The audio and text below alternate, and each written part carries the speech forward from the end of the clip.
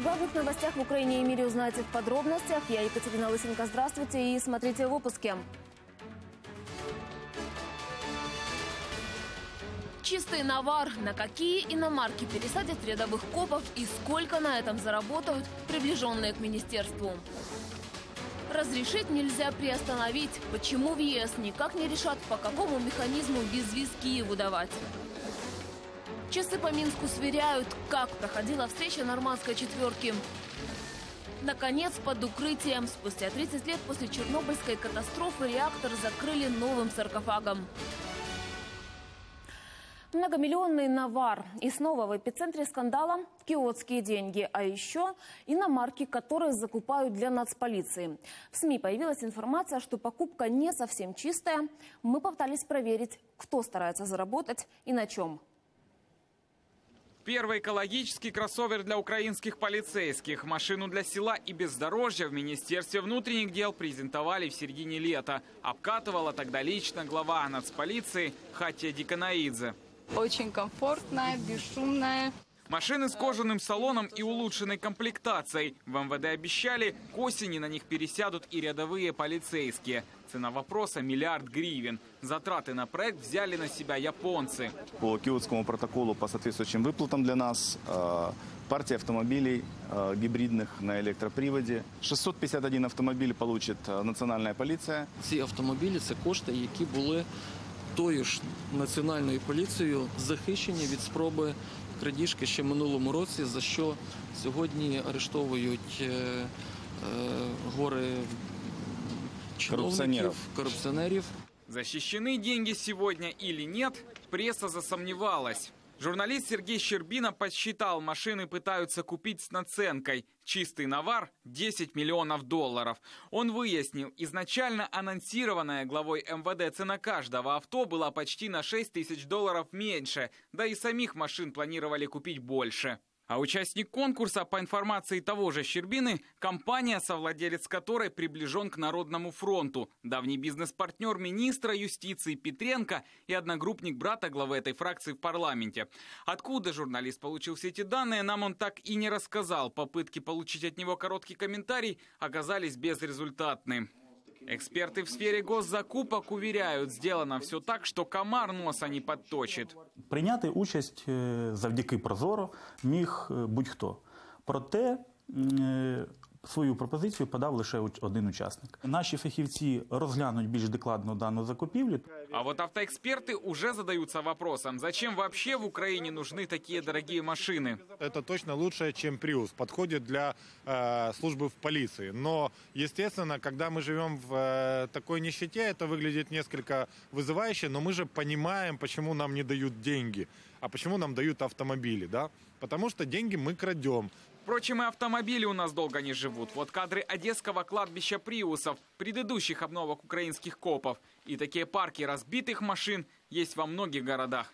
На все наши вопросы относительно закупки новых кроссоверов нацполиции сегодня пока не ответили. Да и сам победитель еще не утвержден. Олег Решетняк, Елена Зорина, Сергей Ременко. Подробности. Телеканал Интер. Коррупция в Украине – главное препятствие для международных инвесторов, а декларация украинских чиновников и вовсе шок для европейцев. Об этом в интервью Интерфаксу сообщила посол Франции в Украине Изабель Дюмон. Она считает, что органы, призванные бороться с коррупцией, должны расследовать все сомнительные декларации, а то, что украинские чиновники хранят миллионы под подушкой, лишь подтверждают, что они не доверяют нашей банковской системе. После подобного примера привлечь в Украину зарубежные инвестиции практически невозможно, считает дипломат. Напомню, именно коррупцию назвали одной из причин пробуксовки евроинтеграции. И сегодня в Брюсселе рассматривали вопрос, напрямую касающийся предоставления Киеву безвиза, а именно механизм приостановления режима. Но трехсторонние переговоры между странами ЕС, Еврокомиссией и Европарламентом завершились безрезультатно. Так светит ли Украине Европа без границ? София Гордиенко продолжит. На прошлой неделе Жан-Клод Юнкер весьма решительно и Дональд Туск уже поосторожнее, но все же пообещали решить вопрос без визы для Украины до Нового года. И даже разговаривали об этом с лидерами Франции и Германии. Именно у этих стран было больше всего замечаний. Но сегодня трехсторонние переговоры снова зашли в тупик.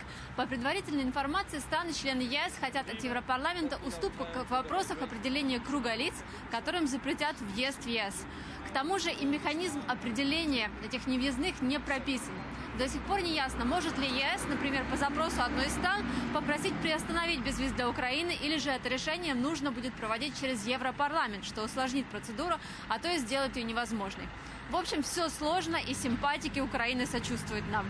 Насколько мне известно, Франция остается нерешенным вопросом.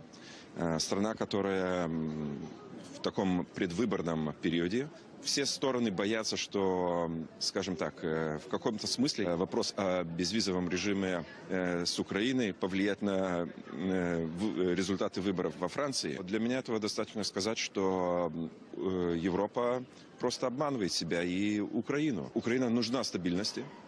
Украине должен быть ясен европейский путь мы как бы предлагаем, но не даем. И все же на сайте Европарламента появился оптимистичный анонс. Депутаты собираются рассмотреть проект визовой либерализации уже 18 января. Не факт, что примут решение сразу, но дебаты будут. И от того, успеет ли Брюссель подготовить документы о механизме приостановления безвиза со своей стороны и утрясти его со всеми странами-членами, зависит и исход всего дела. София Горденко, Василий Трушковский. Подробности телеканал Интер Брюссель. И еще одни переговоры важные для Украины. В Минске собралась нормандская четверка. Главы МИДов четырех стран решают, как урегулировать ситуацию на Донбассе. А итогом встречи должна стать дорожная карта по выполнению Минских соглашений. Свой вариант привезла и Украина. Ярослав Кречко сейчас в Минске. Он следит за ходом встречи. Ярослав, здравствуй. Расскажи, какие детали переговоров уже известны? Да, Катя, скромные ожидания переросли в скромные результаты переговоров стран министров э, нормандской четверки. Но обо всем по порядку. Первым в Минский президент-отель сегодня прибыл глава украинского МИДа. И еще перед началом переговоров Павел Климкин рассказал о том, чего будет добиваться украинская сторона. В первую, в первую очередь это прекращение огня. По словам Климкина, 132 тонны боеприпасов боевики выпустили по украинским военным за последний месяц. Также украинский министр пообещал поднять э, вопрос гуманитарной катастрофы. В частности, это касается э, водоснабжения, отсутствия водоснабжения в городе Торецк. 50 тысяч его жителей неделю без воды, а боевики не пропускали украинских ремонтников на место прорыва. И еще один важный вопрос, который подняла на переговорах украинская делегация. Освобождение заложников, доступ к ним представителей Красного Креста и, кроме того, открытие пункта пропуска на оккупированную территорию в Золотом. Сьогодні будемо дуже жорстко тиснути. Я навіть готовий запросити Штенмайер і РО на відкриття пункту Золоте, який вони свідомо блокують, оскільки там знаходяться російські регулярні війська з того боку. Ми це все знаємо. І щоб перший раз через цей пункт пройшли наші заручники.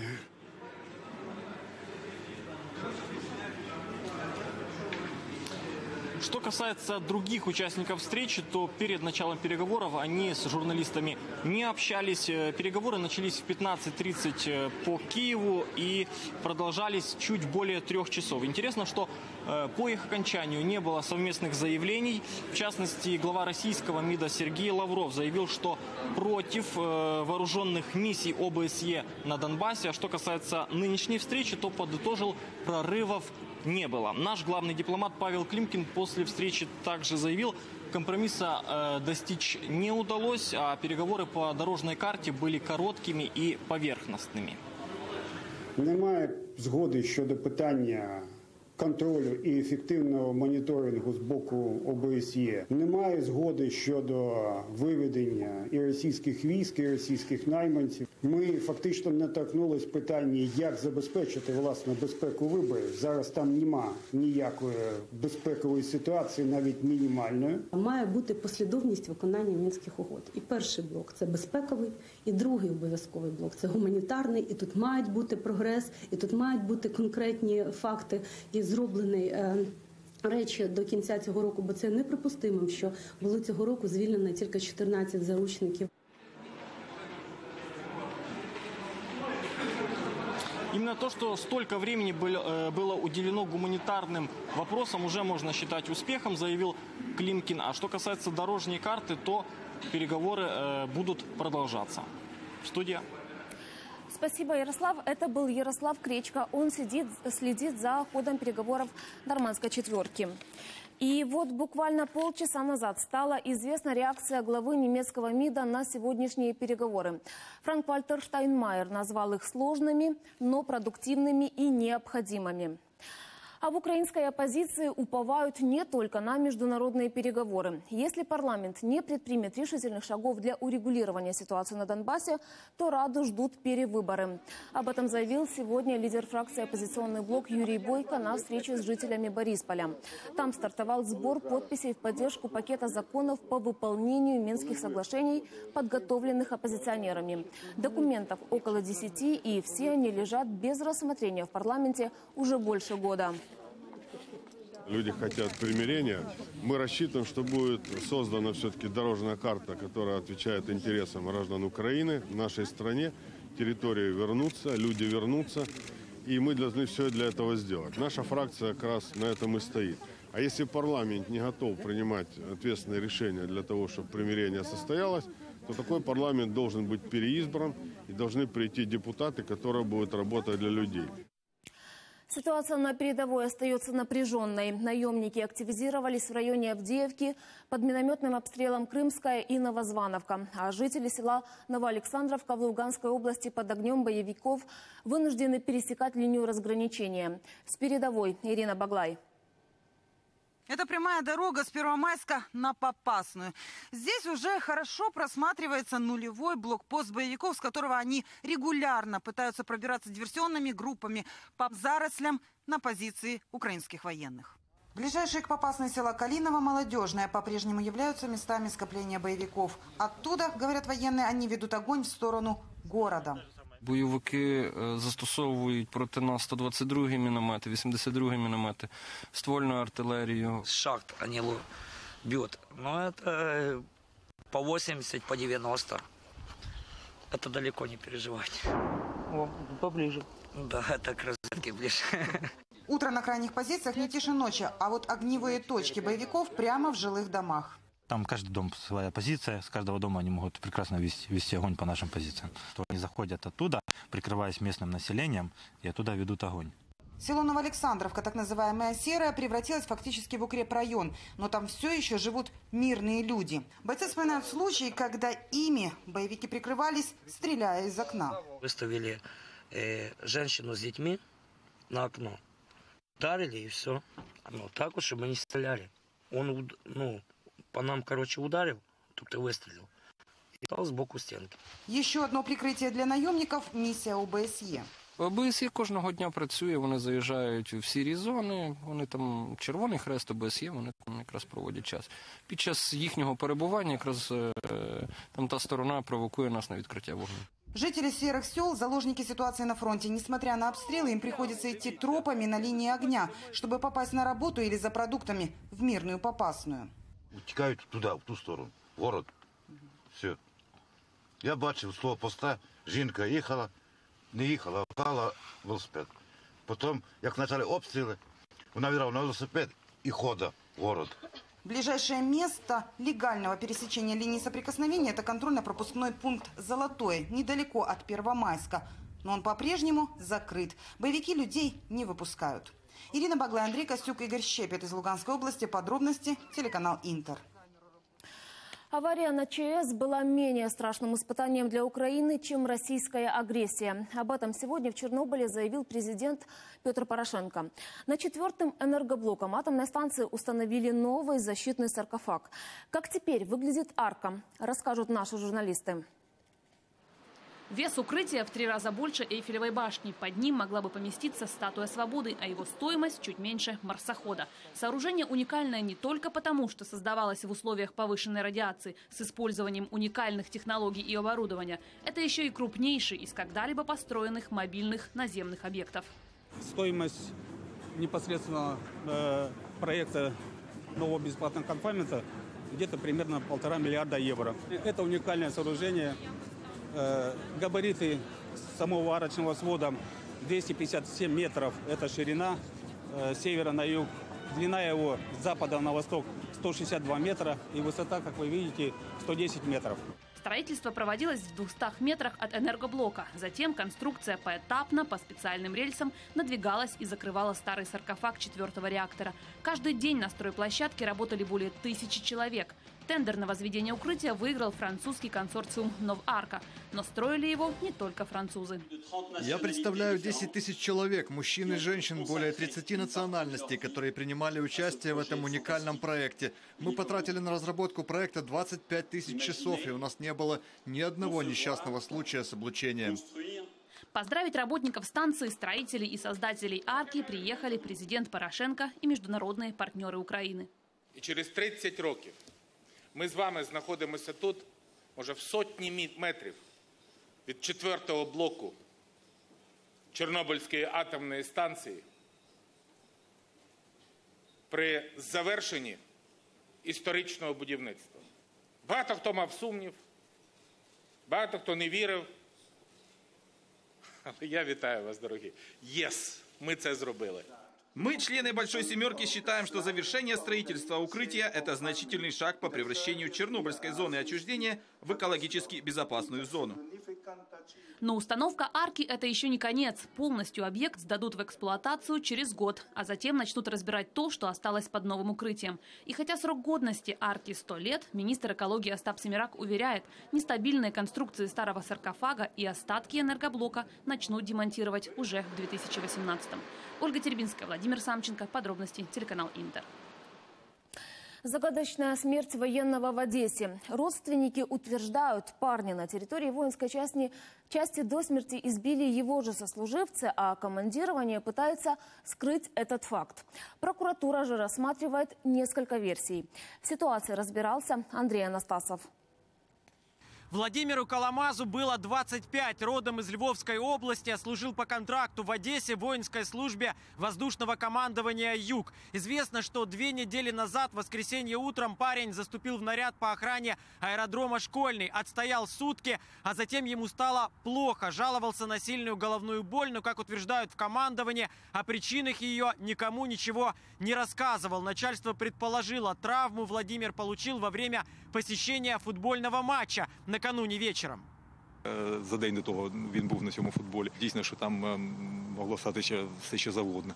От, але е, нікому і нічого в частині Володимир так і не сказав. І не було ніяких там слідів, ніяких сінців. В госпитале ему поставили диагноз черепно-мозговая травма. Врачи пытались спасти Владимира, но в минувшие выходные он скончался по заключению экспертов из-за кровоизлияния в мозг. Однако перед смертью солдат успел рассказать приехавшей в Одессу матери, что избили его вовсе не на футболе, а непосредственно в части сослуживцы. Женщина рассказывает, военные поначалу вообще отказывались ей что-либо объяснять, а потом стали выдвигать путанные версии. Висували, що він впав, обдарився об тумбочку. Висували, що він був на КПП і побили чужі люди. Тільки не в частині і на, на і вони нічого не знають. Він трошки дійшов до себе, він пізнав маму, він почав зі мною говорити. Розказав, що побили його в частині. В частині стігнули з ліжка і били е, об підлогу. Мать говорит, она сразу же, когда Владимир был еще в госпитале, обратилась в военную прокуратуру с просьбой разобраться, кто все-таки избил сына. Но там в расследовании отказали на том основании, что, дескать, в ее заявлении не изложены обстоятельства произошедшего. Такой ответ возмутил родственников. Сегодня, уже после возникшего резонанса, в прокуратуре заявили, уголовное производство открыто, опрашиваются сослуживцы погибшего, никто пока не задержан. версії е, це насамперед е, побиття вказаного військовослужбовця іншими військовослужбовцями, застосування насильства начальникам і м, можливе застосування насильства з боку цивільних осіб. До окончания службы по контракту Владимиру оставалось всего несколько недель. Затем он собирался вернуться домой. Завтра его похоронят на родине. Андрей Анастасов, Игорь Миханошин. Подробности телеканал Интер, Одесса. А во Львове другое ЧП. Там уже полицейский избил полицейского. Расследованием занимается областная прокуратура. Изначально уголовное производство начали по факту избиения, теперь переквалифицировали в служебное преступление.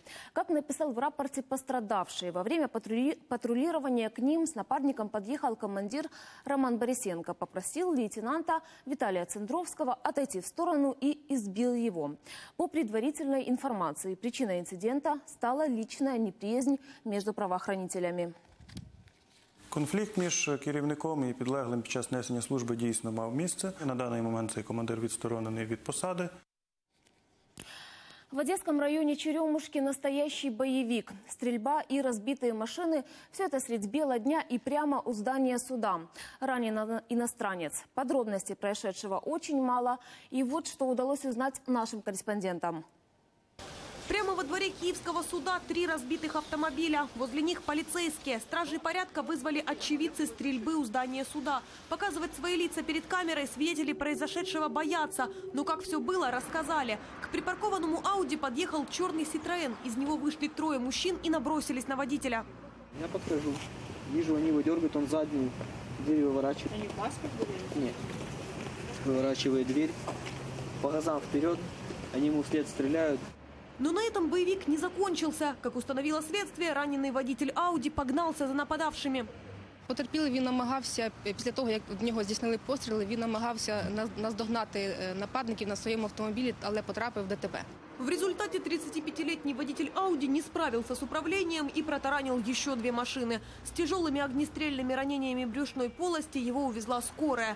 Имя пострадавшего и какие-либо сведения о нападавших в полиции не разглашают. Известно только, что черный Ситроен был с литовскими номерами. Сейчас в городе объявлен план перехват. Наталья Савченко, Андрей Анастасов, Игорь Миханошин. Подробности телеканал Интер. Убийство из-за ненависти. В США полиция объявила имя человека, который накануне напал на студентов университета Огайо. Что толкнуло его на это и почему преступлений на национальной почве в Америке становится все больше? Дмитрий Анопченко продолжит. Трагедия в Огайо накануне всколыхнула всю Америку. Еще бы, среди бела дня автомобиль врезается в группу студентов. Водитель авто выходит и начинает без разбора наносить удары ножом. Свидетели говорят, что в руках у нападавшего был огромный кухонный тесак. Полицейский открыл огонь на поражение, но пока офицер подбежал, 11 человек пострадали. Ну а сегодня снова шок. Выяснилось, что это не бытовое преступление. Мотивами стали религия, страх и ненависть. Абдул Разак Али Артан был студентом этого же университета. 18 лет, беженец из Сомали, жил до этого в Пакистане. Вот полиция обыскивает дом, где он проживал последние два года. С момента приезда в Штаты мало с кем общался, но стоило только следователям открыть фейсбук нападавшего, и все стало ясно. На своей странице он написал «Устал смотреть, как мусульман убивают и издеваются по всему миру. Больше не могу этого выносить. Америка хватит вредить другим странам. Мы вовсе не слабые. Запомни это».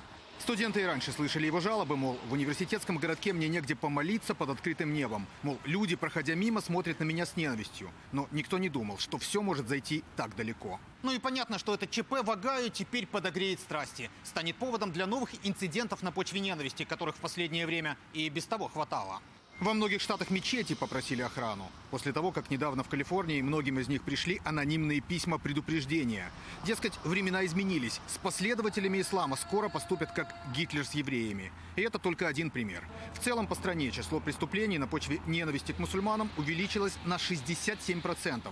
Свидетельствуют официальные данные ФБР. Это самый высокий показатель с 2001 когда произошли атаки на башни-близнецы. И причина ясна. Такие резонансные преступления, как кровавая бойня в гей-клубе в Орландо, а нападавшим был американский мусульманин Амар Мартин, всегда объединяли Америку. Но сейчас трагедия ее расколола.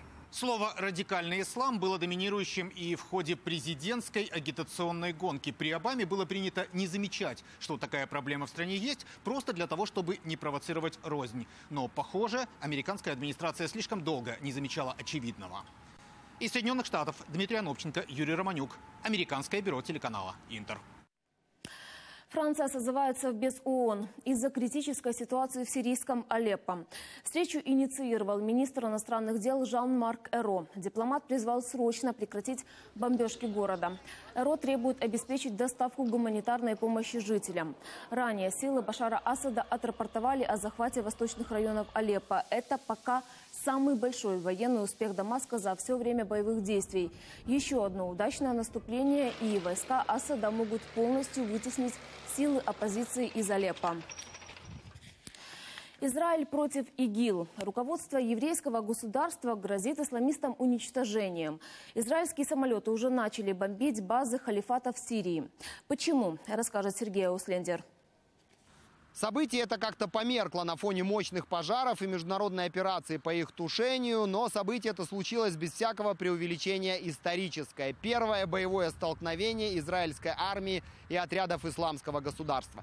Произошло это на голландских высотах в районе сирийской границы. Военные, которые проводили там рутинное патрулирование, попали под сильный пулеметный огонь с сопредельной стороны. Они не стали ввязываться в перестрелку, вызвали поддержку с воздуха. На место прибыло звено боевых вертолетов, которые ракет ракетным залпом накрыли джип с пулеметным расчетом и уничтожили его. Выяснилось, что это были боевики из группировки Шухада Аль-Ермук, которая уже давно принесла присягу исламскому государству и от его имени действует в этом районе Сирии. Израиль не заинтересован в развязывании военных конфликтов, не ищет авантюр. Однако любая провокация, неважно откуда она будет исходить, из сектора Газа, Ливана или Сирии, будет встречена немедленной и жесткой реакцией с нашей стороны. И мы не собираемся согласовывать ее с кем бы то ни было. Ответ в полном соответствии с заявлением министра обороны последовал незамедлительно. Э, израильская разведка в течение нескольких часов вычислила место, где находилась база террористов на территории Сирии, после чего боевые самолеты сбросили на нее 10 тонн бомб, разбомбили и уничтожили всех, кто там находился. Эксперты давно предрекали столкновение ИГИЛ и Израиля и искали причины, почему халифат так упорно избегал встречи с армией еврейского государства. Причин этих оказалось две, они в общем на поверхности. Во-первых, это колоссальное военное преимущество Израиля, а во-вторых, решимость, с которой Иерусалим отвечает на выпады террористов. А по поводу ИГИЛ в Израиле высказывались уже давно и вполне однозначно. Любая попытка террористов даже приблизиться к границам государства будет встречена огнем, что, собственно, и произошло. Сергей Услендер, подробности, Ближневосточное бюро телеканала «Интер». Вы смотрите подробности и далее в нашей программе. На всеобщее обозрение, как в Закарпатье беглецов из армии искать будут. Театральная постановка. Радует ли фасад нового здания киевлян? Трагедия в Колумбии. Там разбился самолет с бразильской футбольной командой на борту. Есть ли выжившие среди пассажиров рейса и что стало причиной катастрофы? Смотрите в следующем материале.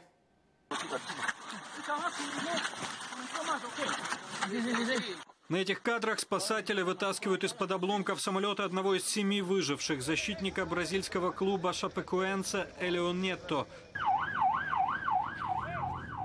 Всего на борту потерпевшего крушение самолета находились 72 пассажира и 9 членов экипажа. Воздушное судно потерпело катастрофу в ночь на 29 ноября. Это произошло вблизи города Ла-Унион, неподалеку от горы Эль-Гордо. Пилоты сообщили о неполадках с электрооборудованием и начали готовиться к экстренной посадке. А затем воздушное судно исчезло с экранов радаров. Eh, Мы в пяти минутах езды от аэропорта имени Хосе Марии Кордовы. Мы сожалеем об инциденте, который произошел возле Ла-Униона. На вопрос, почему самолет не дотянул до взлетно-посадочной полосы, ответа пока нет. Результаты экспертизы станут известны в лучшем случае через несколько недель. Тем временем в больницах Медельина врачи борются за тех, кому чудом удалось выжить. Первого пациента привезли в 2 часа ночи. У него перелом позвоночника, отрыв правой верхней конечности, есть закрытая травма грудной клетки. Как сообщает колумбийская пресса, управление гражданской авиации запретило футбольной команде Шапекуэнса лететь ранее забронированным чартерным рейсом. Билеты пришлось вернуть и купить новые, как оказалось, на самолет, который так и не достиг пункта назначения. Дмитрий Евчин, подробности, телеканал «Интер». Люфтганза вновь бастует. В ближайшие два дня немецкая авиакомпания отменила 1700 рейсов по всему миру. Только сегодня в Борисполе отменили как минимум 8 полетов до Франкфурта и Мюнхена и в обратном направлении. Стачка продолжилась потому, что сорвались переговоры между представителями профсоюзов и руководством компании. Стороны не сумели договориться о повышении зарплаты пилотам, которые требуют увеличить жалование сразу на 20%. Люфтганза предлагает всего на 4%. За два года забастовок персонала компания потеряла уже 300 миллионов евро. Просят денег и в Украине. Авиастроители у правительства. Премьер сегодня приезжал на госпредприятие «Антонов». Оказалось, уже два года здесь не могут сдать в эксплуатацию около 10 почти собранных пассажирских самолетов Ан-148 и Ан-158. Все из-за того, что в 2014-м отказались от российских запчастей, а это 60% всех комплектующих и перешли на программу импортозамещения. Но и для производства украинских деталей и покупки зарубежных нужны деньги, а на заводе их нет, пожаловались авиастроители. Владимир Гройсман пообещал помочь, но сначала нужно определиться с механизмами финансирования, тем более более, что бюджет на следующий год пока не утвержден и есть еще время внести в документ изменения. Що стосується комплектуючих, ми можемо наблизити локалізацію до максимально 100%. Зараз ми направили бюджет до парламенту для підготовки до голосування в другому читанні. На найближчих пленарних тижнях вже перейти до розгляду цей бюджет є насправді бюджетом розвитку, бюджетом стабілізації. В день рассмотрения Верховной Радой бюджета на 2017 год профсоюзы анонсировали масштабную акцию. Пять тысяч человек соберутся в правительственном квартале, чтобы убедить нардепов снизить цену на газ для населения и реформировать систему оплаты труда. Об этом сегодня сообщил представитель профсоюзов в парламенте Сергей Каплин на встрече с лидерами киевских профсоюзов. А главное требование, по словам Каплина, уравнять минимальную зарплату и прожиточный минимум до 3200 гривен. 3200 – це досягнення виключно профспілок і тих народних депутатів, які принесли законопроект про спілок а таких було двоє Вілкул і Каплін. Сьогодні нам потрібно заявляти про свої вимоги. Це тільки перший крок. І ми будемо відстежувати всі динаміки, всі процеси національної економіці і добиватися її ще більшого підвищення. В Каменском уже митингуют. Требуют снизить тарифы на коммуналку, повысить зарплаты и пенсии. Местные жители говорят, когда получили новые платежки за отопление, ужаснулись. На все остальное денег не остается. Изменить ситуацию можно, считает нардеп Александр Вилкул. Для этого оппозиционеры разработали целый пакет законопроектов. Митингующие подписали обращение к Верховной Раде с требованием рассмотреть эти документы в сессионном зале. Я сюда пришла, потому что жизнь заставила сюда прийти. Прийти, потому что действительно все подорожало. Я вот иду, чтобы кто-то нам помог, чтобы вот это э, цены пересмотрели. Но это же невыносимо просто жить. Мы внесли четкий, понятный, комплексный план и стратегию, что необходимо сделать. Первое – это снижение коммунальных тарифов. Второе – это повышение заработной платы и пенсий. Минимальная зарплата минимум 4,5 тысячи, ми минимальная пенсия минимум 2,5 тысячи. Третий вопрос – это принять наши законопроекты, направленные на стабилизацию цен. На обозрение общественности список дезертиров Закарпатья опубликовал глава области Геннадий Москаль. С подобной просьбой к нему обратились военные. Они уже два года пытаются найти беглецов и привлечь к уголовной ответственности. А тех, кто служить не хочет, Марина Коваль.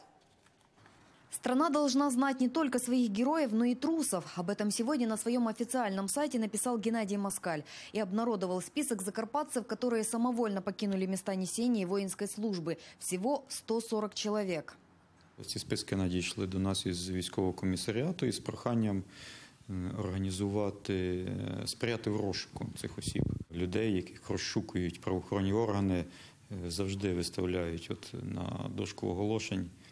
Так в принципе, их легче, простіше знайти. Мы попытались найти тех, кто попал в черный список. Виталий Райниш под вторым номером, но оказалось, он вовсе не дезертир. Весной 2014-го его мобилизовали после ранения. Пока лежал с контузией в больнице, военная прокуратура начала уголовное производство за самоволку. Виталий говорит, командование части подало правоохранителям недостоверную информацию. Прокурором було закрите кримінальне провадження за відсутністю доказів. У мене є постанова про закриття провадження. По чьей ошибке Виталий попал в список дезертиров и сколько еще таких, как он? Военные не комментируют. По телефону ответили лишь одной фразой. Керівництву факт цей оприлюднення доведений. Наразі е, проводиться перевірка. Кстати, за самоволку предусмотрена серьезная уголовная ответственность. Наказание в виде лишения свободы от двух до пяти лет. Марина Кова, Юрий Ковалев. Подробности телеканал Интер, Ужгород. Железный трон Востока остается в Запорожье. Его купил ветеран АТО за 150 тысяч гривен. Массивная инсталляция в виде трона из сериала «Игра престолов» сделана из танковой брони, осколков снарядов и других боеприпасов.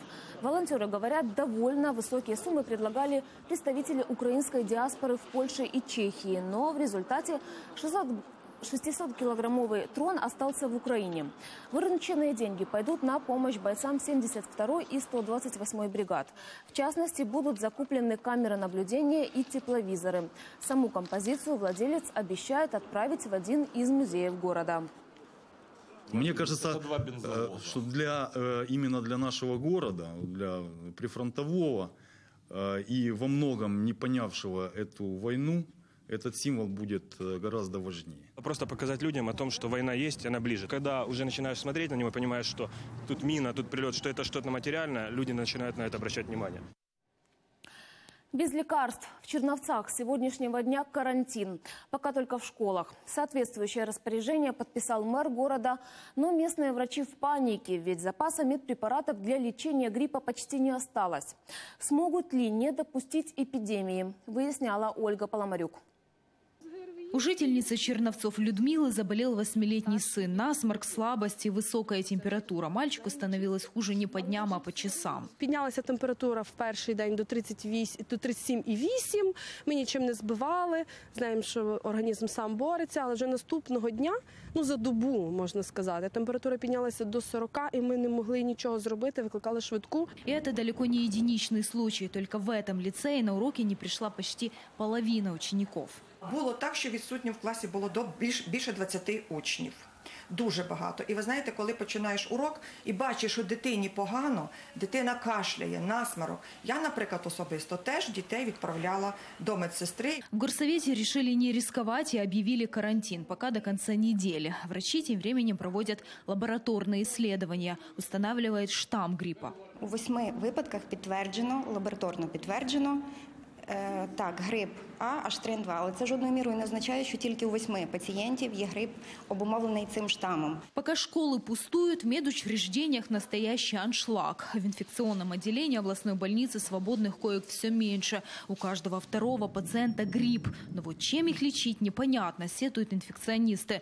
На все отделение всего две пачки таблеток. Пациентам приходится раскошеливаться. Моїх шість хворих е, з грипом, саме з грипом підтвердженим H3N2, вони всі отримували терапію, яку вони самі закуповували. Улучшить ситуацию с противовирусными препаратами чиновники обещают в течение одной-двух недель. Дескать, уже выделили 350 тысяч гривен на закупку лекарств. А медики в который раз советуют не пренебрегать вакцинацией. Ольга Поломарюк, Игорь Рига. Подробности телеканал Интер. Черновцы. Архитектурный вопрос. В столице вокруг реконструкции здания на Андреевском спуске разгорелись нешуточные страсти. Волну споров вызвал обновленный фасад. Сегодня с него сняли защитную сетку. Что собой представляет новое лицо дома и почему оно вызвало такой ажиотаж? Подробнее наши корреспонденты.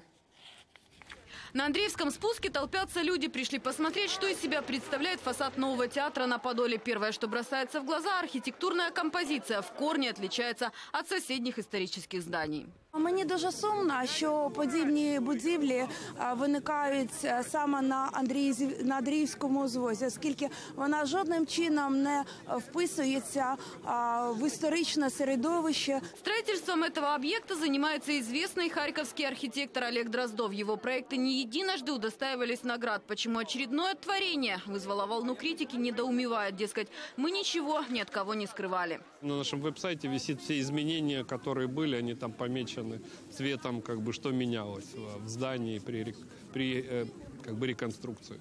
Изменилось здание не только снаружи, но и внутри. В частности, при реконструкции не забыли о людях с ограниченными возможностями, рассказывает художественный руководитель театра. Театр влаштовано так, що в ньому є три ліфта для людей з обмеженими можливостями. В ньому є екран для людей з поганим е, слухом. В ньому є спеціальні ну, устройства для людей з поганим зором. Тем не менее, такие новшества столичной мэрии восхищения не вызвали. Главный архитектор Киева заявил, что при строительстве не учли замечания градостроительного совета. А мэр заверил, что без одобрения общественности новый проект не примут.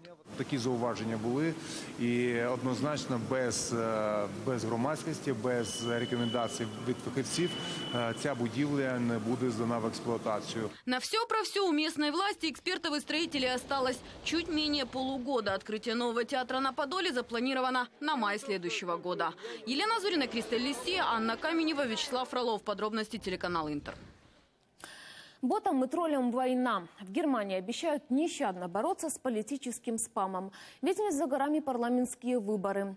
Как именно собираются усмирить виртуальных манипуляторов и кто уже попал под подозрение, расскажет Татьяна Лагунова. До парламентских выборов в Германии чуть меньше года, но подготовка к голосованию уже началась. Немецкие политики обсуждают, как бороться с манипуляторами, которые с помощью всемирной паутины будут пытаться влиять на результаты выборов. Боты и тролли, фейковые интернет-страницы, ложные сообщения в социальных сетях и информационные вбросы. В Германии не сомневаются, на следующих парламентских выборах все эти инструменты будут использовать по полной, чтобы с помощью манипуляций повлиять на общественное мнение и выбор избирателей. Главными борцами со спамерами выступили двое министров юстиции и внутренних дел. Поддерживает идею канцлера Ангела Меркель, которая собралась баллотироваться на четвертый срок.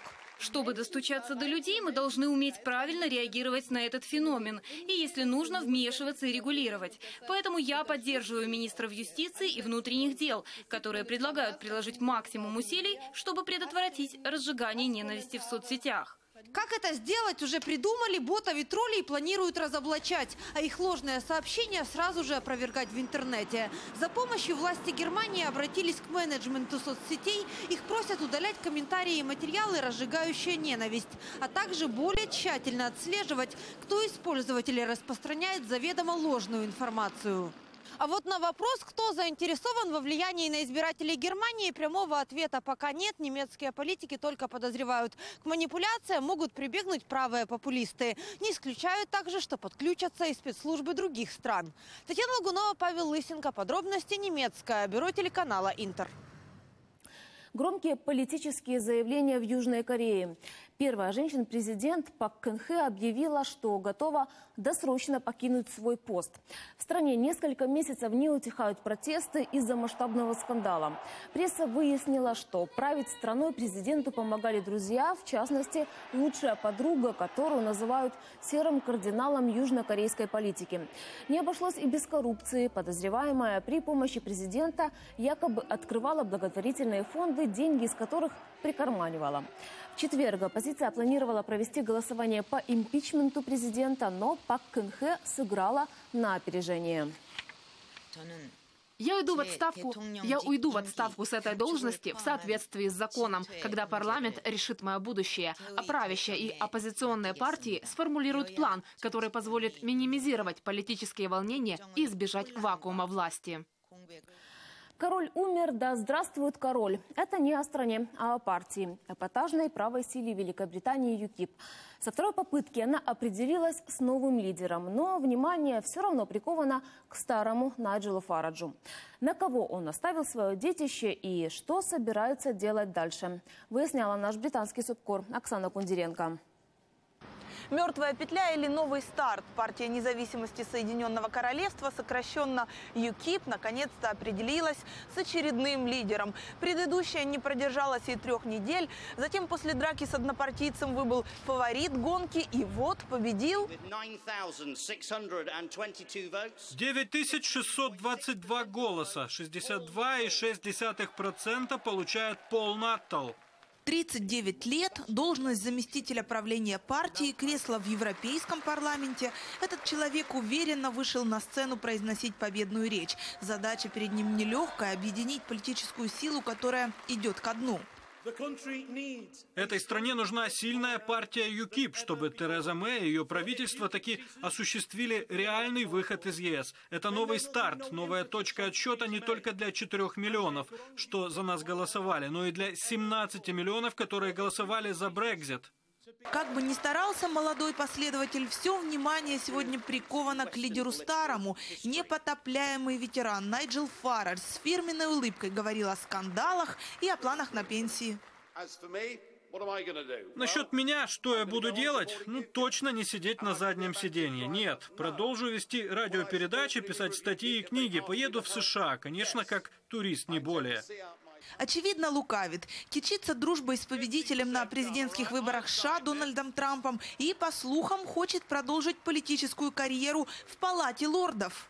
Словом, ЮКИП Фарадж давно перерос, по сути, оставил на произвол судьбы. Без главного затейника у партии не будет ни денег от спонсоров, ни голосов избирателей, только сомнительная репутация. Оксана Кундеренко, Сергей Дубинин. Подробности. Британское бюро телеканала «Интер». На Большом Коралловом рифе экокатастрофа, а в Саудовской Аравии неожиданно выпал снег. Чем еще запомнился этот день, узнаете из, из Международного дайджеста. Самый старый человек на планете сегодня празднует 117-летие. Итальянка Эмма Марана – последний человек на Земле, который появился на свет в 19 веке. Свой день рождения долгожительница провела в кругу друзей и родственников. По утверждению самой итальянки, она потомственная долгожительница. Мать Марана погибла на 93-м году жизни, а сестры – на пороге столетия. Опекуны женщины считают, что секрет ее долголетия в особой диете. Она каждый день съедает по три яйца. На Большом Коралловом рифе экологическая катастрофа. В этом году погибло больше океанических жителей, чем когда-либо. Эту информацию подтвердили ученые. По их подсчетам, уже две трети кораллов мертвы. Причины загрязнения океана – чрезмерные объемы рыболовства и изменения климата. Процесс разрушения кораллов ведет к исчезновению многих видов рыб. 50 спортсменов со всего мира приняли участие в одном из самых экстремальных марафонов – Антарктическом. Участники одолели свыше 40 километров заснеженной трассы. Лучший результат среди мужчин показал ирландец Герри Торнтон. Он завершил забег через 6 часов. Среди женщин первой пришла полька Йоанна Медрас. У здания Капитолия в Вашингтоне начали устанавливать рождественскую елку. Праздничное дерево для конгрессменов привезли из штата Айдахо. 84-летняя ель Энгельмана имеет высоту 25 метров. Ее украсят тысячами фонариков и игрушками ручной работы. В Саудовской Аравии неожиданно выпал снег, хотя в это время в стране обычно идут дожди. За сутки температура резко упала до нуля, а в северных провинциях до трех градусов мороза. Больше всего снега выпало в городах Шукра и Табук. Такого местные жители не видели уже очень давно. Соцсети аравийцев пестрят фото и видео заснеженных районов. Донбасс в движении. Так можно перевести название выставки, посвященной АТО, которая сегодня открылась в центре Парижа. Фотограф Наталья Любченкова готовила ее больше года в фотоработах судьбы украинцев, которые не сдаются и пытаются жить на Донбассе полноценной жизнью. Выставка открывает французам ту Украину, о которой они еще не знали. Когда я обращаюсь к французам, например, французам или западным европейцам с этими историями, я пытаюсь им донести до них, что это истории таких же людей, как они. Точно таких же людей, как они, которые оказались в других обстоятельствах, более сложных, наверное, более небезопасних. Ти бачиш людей, які фактично втратили все, чим вони були, і мусили починати з нового листа. І це дуже цікаво. Виходить така соціальна трансформація. Війна з одного боку абсолютно все знищує, а з іншого воно настільки просто забрало все, чим ти був, і все, е, чого від тебе сподівались інші, що ти просто стаєш от по-новому, просто будувати це. За развитием событий следите на нашем сайте подробности.ua, а в прямом эфире увидимся уже завтра. Хорошего вечера и до встречи!